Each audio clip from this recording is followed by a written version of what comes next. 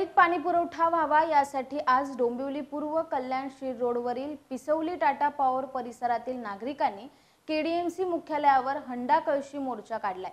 या मोर्चात शेकडो महिला सहभागी झाल्या होत्या.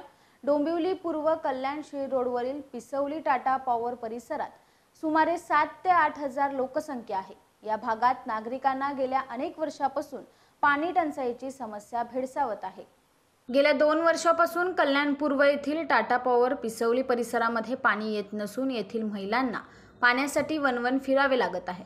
वारंवार पालिकेला पत्र देऊनही पालिका लक्ष देत नसल्याने अखेर संतप्त नागरिकांनी आज डॉक्टर बाबासाहेब आंबेडकर राष्ट्रीय परिवर्तन पक्षाच्या वतीने कल्याण डोंबिवली महानगरपालिकेवर हंडा कळशी मोर्चा काढला. यावेळी परिसरातील महिलांनी डोक्यावर हंडा ठेवून हंडा वाजवत मुख्यालयाबाहेर पालिकेच्या विरोधात नारेबाजी केली.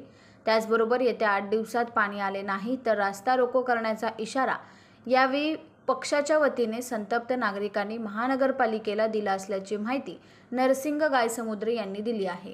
सर्व महिला या ठिकाणी हंडा कळशी मोर्चा घेऊन आलेले आहेत. आम्हाला गंभीर जो प्रश्न आहे दोन वर्षापासून पाणी आम्हाला मिळत नाही आणि त्यामुळं हे आ- आक्रोश मोर्चा या ठिकाणी महानगरपालिका मुख्यालयावर आज या ठिकाणी आणलेला आहे. आणि आज आम्ही या ठिकाणी महापालिका अधिकाऱ्याला एवढं सांगू इच्छितो की येणाऱ्या ज्या आठ दिवसामध्ये पाणी जर आम्हाला दिलं नाही तर ह्या ठिकाणी जो मोर्चा नि- आक्रोश मोर्चा निघेल ह्याचं महापालिकेनं भयंकर ह्यामध्ये तीव्र आंदोलन असेल आणि हा टाटा पॉवर पिसोलीमध्ये हा रोड रोको रस्ता रोको म- मोर्चा असेल ह्या पद्धतीचा आम्ही ठाम भूमिका घेतो.